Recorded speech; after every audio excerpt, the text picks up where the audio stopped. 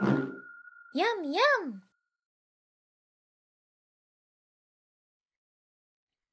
Ah, good morning, everybody. Welcome to Pixel Fondue. My name's Chris. Uh, we're going to start the next part of this little series, uh, getting this deformed eyeball and lid weight mapped. Really, just the uh, eyelid needs some weight maps, right? All right, we got our deformer here, which is working as expected. Right, it's working pretty good. Everything's working okay. Right, I've got this thing down here. Everything follows directions pretty well. Alright, but what we need to do is get this thing set up for some weight maps. Uh, what you'll see is, for one, uh, let's get this thing ready. I'm going to need this. Need the tool properties. Let's get my lists open. I like to see that stuff. This is everything that's right in here that you could see. Uh, let's see. Uh, what else do we need? Uh, let's turn, let's split this. Get a couple looks. Right now this one, we don't need the locators, so I'll turn those things off. We're just going to look at this. Probably just, uh, let's go left. Nice straight on side, side view, right? Now, same thing here. We really don't need to be looking at any of this stuff for right now. So what I'm going to do, and these two, I believe it's this one and this one, go to the assembly. And what I'm going to do, oh wait, display, here we go. I'm just going to make them invisible. we just don't need to be seeing all that stuff. The lattice is not bothering me too much, and the little main mover here is not bothering me too much. Alright, so what you saw there a moment ago was this weight map we have here. This weight map right now is going to control the closing of that eyelid.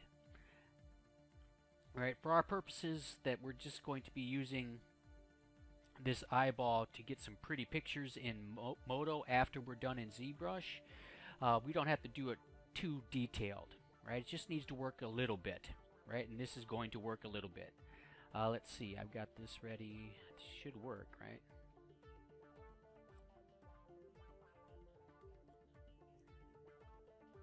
Right, with a little bit of work, a little bit of extra time and effort, a person could get this thing to close up with this bottom lid right along that center line. But again, this is really not what we're uh, working at today. Right, we're just trying to get something that works within a few little bit of uh, parameters just so we can get some pretty pictures made. And we'll see what happens a little bit later with that, right? Okay, what I'm going to do, I'm going to turn uh, turn that off. We don't need to see that. All right, but these are the weight maps. We get rid of ready to do all of this stuff, right? So what I'm going to do is go into my vertex maps. And where is that? Is this it? There's the bottom one. There's the top one I made, right? Oh, let's go ahead. I'll show you both of those. Right, we can almost get these things to shut, close pretty well.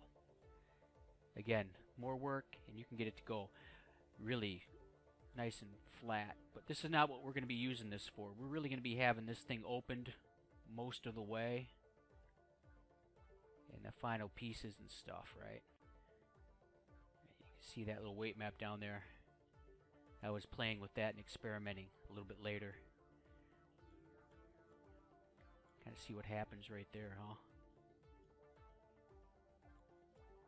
Kind of interesting things you can do with just playing with how your weight maps are going to work. Puts a little kind of a suction on part of that, depending on how far down you go. You can see it right there. Just that one line of uh, vertexes just a little bit less weight. So when it pulls, they le get left behind. Can be kind of an interesting effect.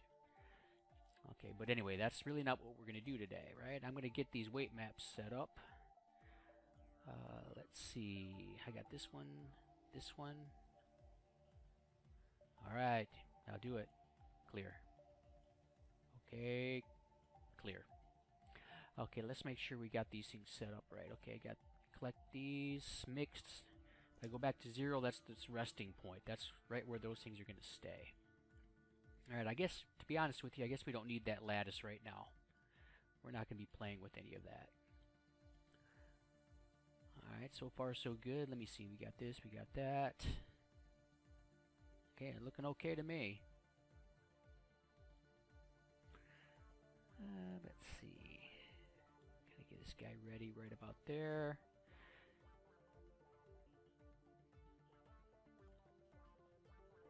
Alright, let's see. Now then, if you look, the final result, it looks pretty nice with this nice beveled line here. Alright, it looks really nice. But, for our purposes, when we get a little bit later involved into this project, what'll happen is I'm probably going to do something more like this.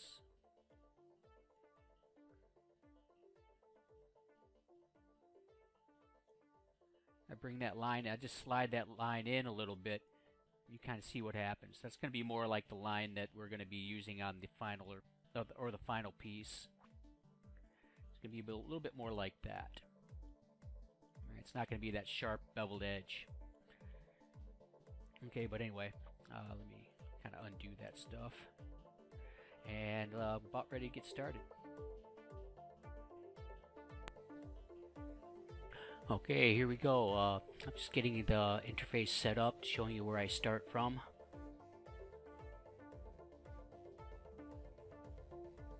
Cursor will be a little bit choppy and kind of jumping around a bit because I got things sped up because uh, I guess your time is valuable, so I don't want you to have to watch me doing this in real time. I'm just showing you that button over there toggles my weight maps, which is that button after the O key.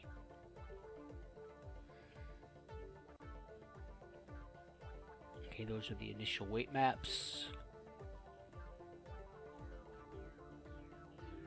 Come down and clear those out. We start from scratch. We don't really need to see the schematic right now, so I move that out of the way. I'm get my weight palette up so we can have some access mainly to that smooth selected button you'll notice there. I really don't need that action center up Put the fall off, uh, got that up just so you can see what happens. Okay, turn off the eyeball. I'm going to go to a straight left hand. I go into vertex mode, grab those vertexes. Now I'm just checking to make sure I've got the entire set. Okay, so now, uh, what am I going to do? set up the fall off. Again, read that note I just put up there. Sometimes that work plane and the snapping can be a little bit wonky. But I want that z-axis start and end to be at zero. Alright, so I show the weight map so I can see what's happening. Go to the left hand side so I just got a good good look at it. And uh, right now I'm only working with the linear fall off, but all of those fall offs you see listed there can have a drastic effect on how you're playing with your weight maps depending on your situation. They all have an effect that you can notice if you've got your weight maps showing. Especially those numeric values give you a good idea what's happening. The colors are great, but those numbers are best. And uh, just as a reminder, remember it's the vertex or the vertexes that get the number, not the polygons. Alright, so placement on polygons is just a visual thing. It's the vertexes that get the numbers. So you'll see what happens here in a minute. Because I'm going to go over here shortly after I get this kind of set up. Then I'm just going to smooth select it over on the weight panel.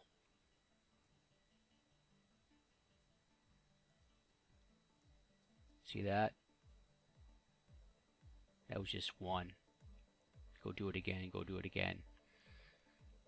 But it also smooths that spot right there. So, Because really, right now, to be honest with you, I could have quit and stopped, moved on to the next one. For our purposes, that right there was going to work fine. But I'm just going to play with it a little bit more to let you know that there's more you can do if you want, depending on your needs. And just another example of how to use that linear fall off in a moment. So I'm going to select that line of uh, polygons. Go back to this. Again, there's that note. Keep an eye on that.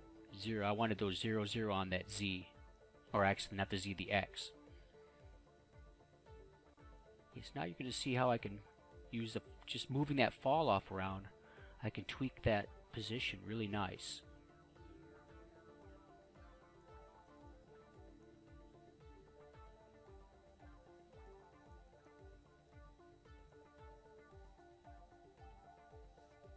Watch, here comes another smooth selected.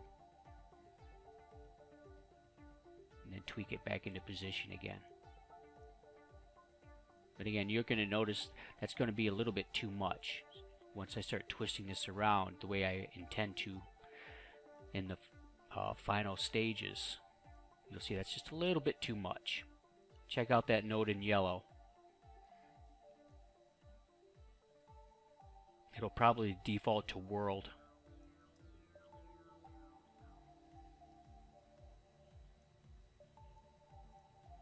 So I did a smooth selected to see how that was going to look.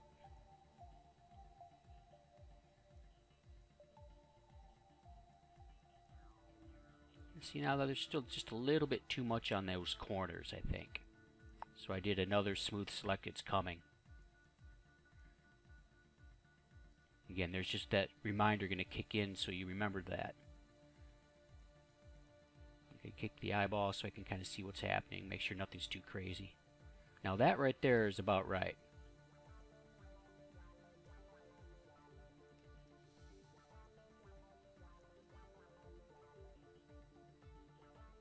Okay, I turned my locators on, but it's uh, the colors are set up for this background, so I needed to turn that back on. Okay, so that works. I set the Y to 1 meter. It's a giant eye. Again, there's another reminder about that. If you don't do that, I'd get uh, uh, double transforms on my weights. Or those actually the, the effectors.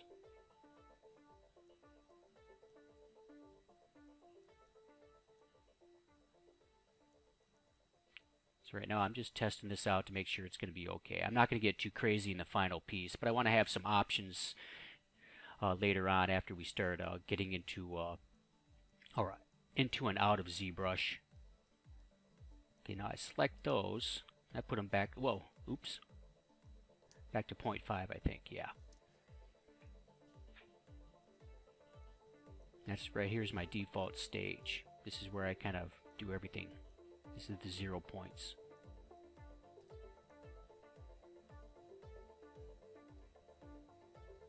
Okay, I wasn't able to get all of it because that top is not rotated back to zero. So I go back to zero and those positions, go back to default. So really I'm going to do a, almost exactly the same thing here. Make sure I'm on the bottom one. Set my linear. There, see that note there? See how that changed? So I had to be careful with that, make sure it's all the same.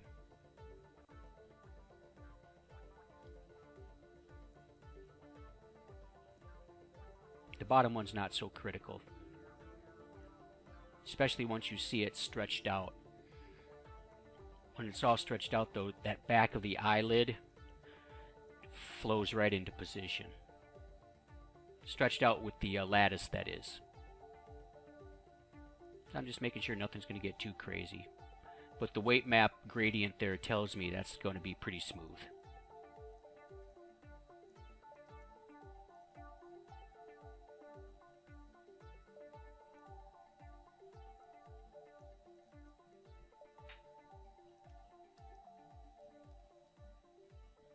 Look what I'm doing. I'm actually adjusting the rotation value. That's why it didn't move.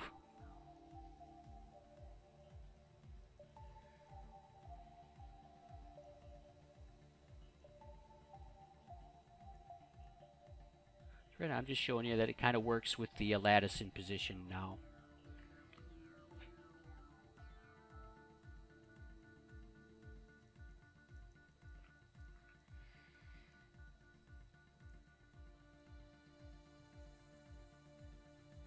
Just slide that edge around and you can uh, put a nice little curve on the eyelid which is pretty much where we're going to use it. That's about right where it's at now.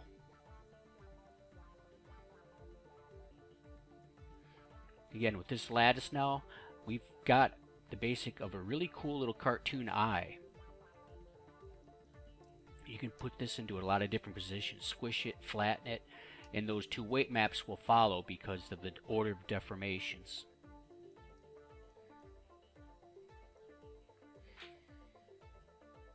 Again, there's that note again. Those two rotators are set to local. That lattice is set to